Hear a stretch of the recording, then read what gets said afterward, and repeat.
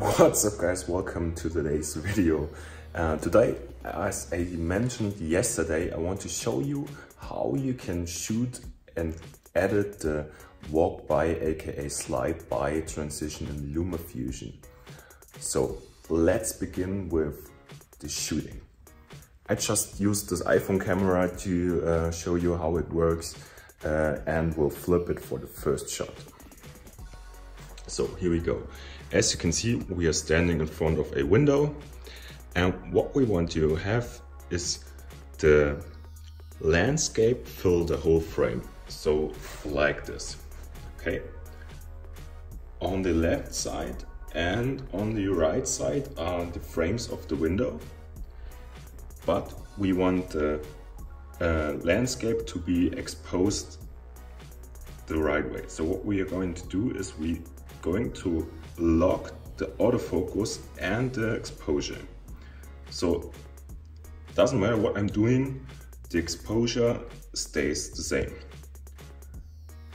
What we do now, since we want this as a start shot, is we start in the middle of the window, so the whole frame is um, landscape, and then move slowly to the right until the frame moved through the whole video frame. So from the right side to the left side like this.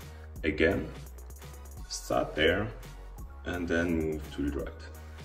Make sure everything is lined as straight as possible as this will help you later with um, editing. Now we are going to the next frame. Here we are at the next frame, my kitchen. Again, lock autofocus and exposure.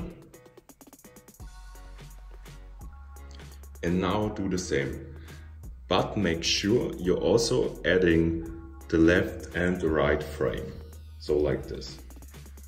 And be sure the speed is pretty much the same like before. Now we are in the last clip we want to shoot. Again, lock autofocus and exposure.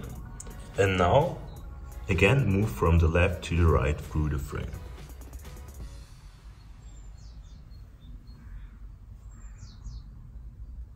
We're in LumaFusion now. As you can see, we have our three clips in our timeline lined correctly. What we have to do now is add a title layer. Place it at the point where you want the next frame or next clip come into frame double tap to edit, delete the text, add a shape, make it filling the whole frame, select green color, set opacity a bit down so you can see what we are doing, go to frame and fit, and now start position positioning it.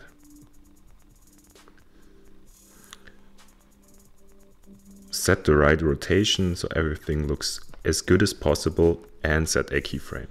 Now move on until the last point of the frame. So like this. Also again set the rotation and place the green screen. Now make sure in between everything looks as good as possible. We want the green screen right in the middle between those two windows in the dark area. Just follow my example.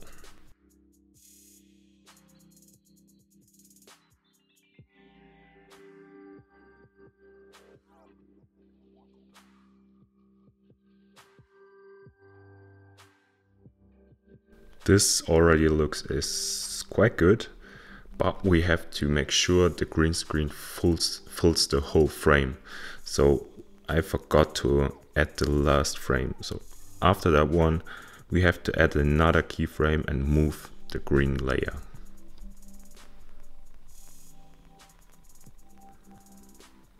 This looks quite good, so we are cutting it here and start with the next one. You can either clone the title layer or just add a new one, which is what I'm doing because I want to be as precise as possible. Also, search for your starting point, in this case this one, double tap to edit, remove the text box and add a shape again, change color to green, set opacity a bit down so you can see what you're doing and go to frame and fit and start. In this case, we want a light gray bar on the right side. So what we are doing is go to the first frame, add a keyframe, and then to the last frame and add a keyframe and set the green layer as good as possible. Again, just follow my example.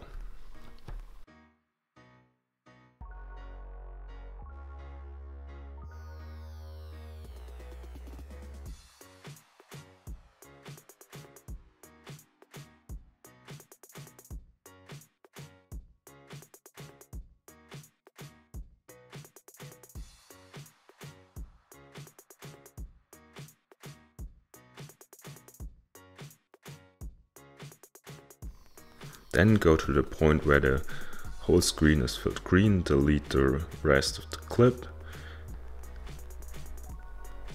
Check if everything looks fine, set the opacity of title layers to 100% so everything is green. Now we have to export this clip with as good as possible settings, in this case 100 megabits per second wait until everything has rendered. Now delete the first clips, add our rendered video file and cut it into three clips. You have to be 100% precise, so cut it into three clips like before, like this. This looks good. Now click in the button on the left side to make sure you can drag and drop the video clips freely, like in my example, just follow it.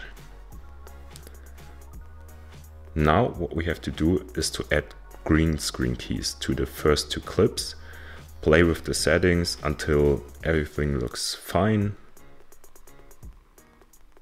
So like this, this looks already pretty good. Do the same with the second clip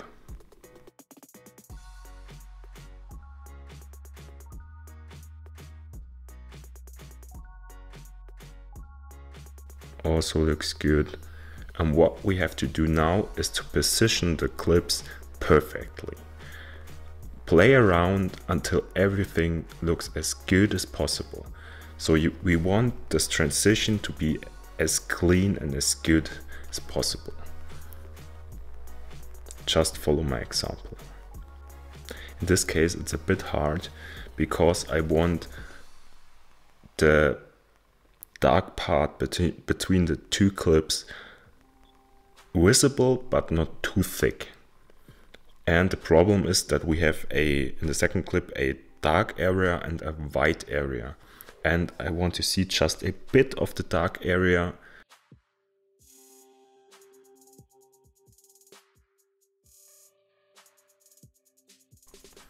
Now do the same with the third clip in this case, it doesn't work because the window frame of the third clip wasn't visible and this one is too thick.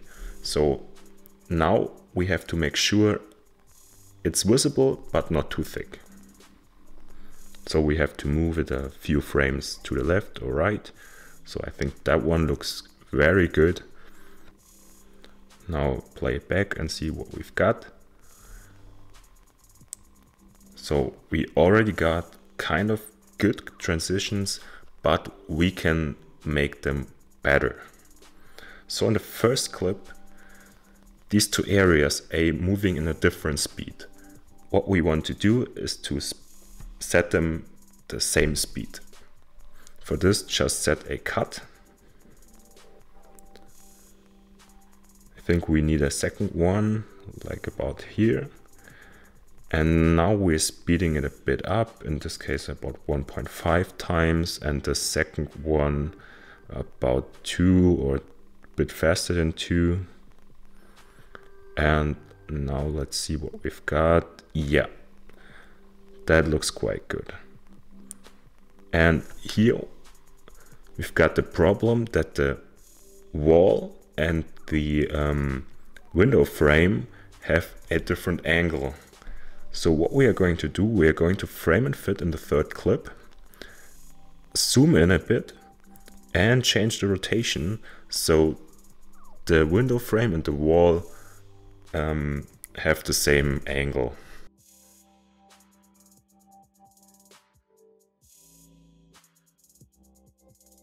Make sure the whole frame is filled, that's why we have to zoom in. And don't forget to set keyframes because we want to change the angle now again to have the look like we wanted to have. Now check it again. Oh, this looks quite good. I think we've got a nearly um, perfect result.